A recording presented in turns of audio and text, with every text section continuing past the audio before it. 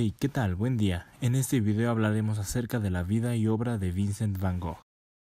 Hijo de un pastor protestante holandés, Vincent van Gogh nació el 30 de marzo de 1853 en Groot-Zunder. En 1864, él llevaba un internado privado en Semmenberg y posteriormente al de Tilburg, donde permaneció de 1866 a 1868.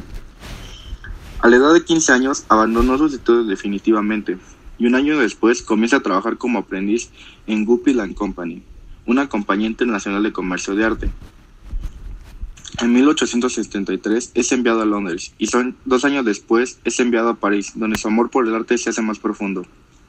A su edad adulta se convirtió en uno de los mayores exponentes del postimpresionismo. Pintó alrededor de 900 cuadros, entre autorretratos y acuarelas, además de 1600 dibujos. La calidad de la obra de Vincent van Gogh solo fue reconocida hasta después de su muerte y actualmente está, catalogado como uno de los grandes maestros de la pintura. Van Gogh murió el 29 de julio de 1890. Van Gogh vivió en la época del posimpresionismo, un término histórico artístico que se aplica a los estilos pictóricos a finales del siglo XIX y principios del siglo XX posteriores al impresionismo. Al principio, la obra de Van Gogh se inicia en el realismo, con una pintura de tonos oscuros y profunda humanidad.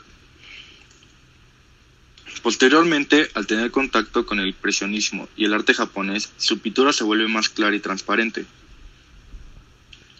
En su etapa Provenza, realizó numerosos paisajes interiores, donde resalta la pincelada sinuosa y multitud de retratos, que constituyen lo más característico de su obra.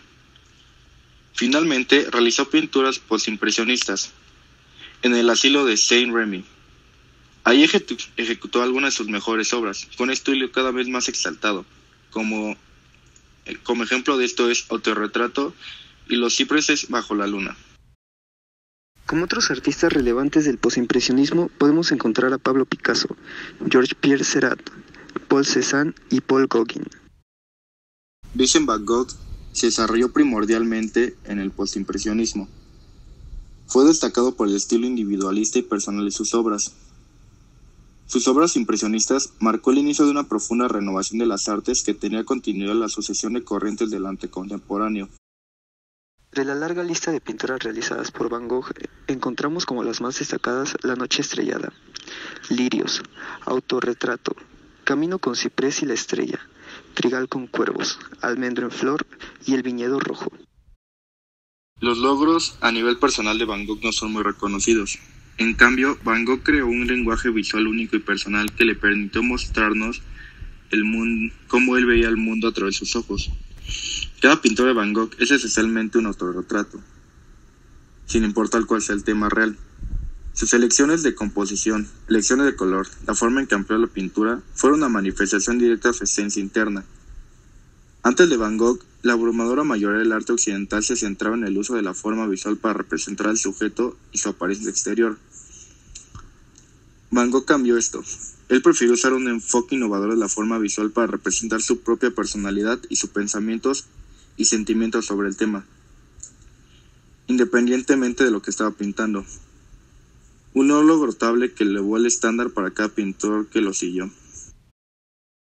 Como logros a nivel de grupo, el posimpresionismo se colocó estéticamente hablando como la oposición del impresionismo.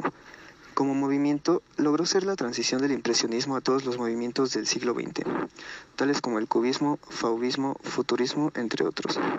En él se logró recuperar el rigor compositivo de la pintura, la definición lineal de las figuras y se le asignó una autonomía al cuadro. Van Gogh retomó el concepto impresionista en la mayoría de sus obras, lo cual fue innovador en el sentido estético de su arte, pero no en la parte ideológica, ya que en este concepto se expresan de mejor manera los sentimientos de una manera estética. Al día de hoy, Vincent van Gogh es inspiración de muchos artistas en el mundo, específicamente en los impresionistas contemporáneos. Sus obras marcaron un estilo que trata de ser imitado por los nuevos pintores. A su vez, la paleta de colores utilizada por Van Gogh hace más de 100 años sigue siendo una herramienta bastante recurrente en obras de los artistas contemporáneos con inclinación a su movimiento. Eso es todo, gracias por su atención.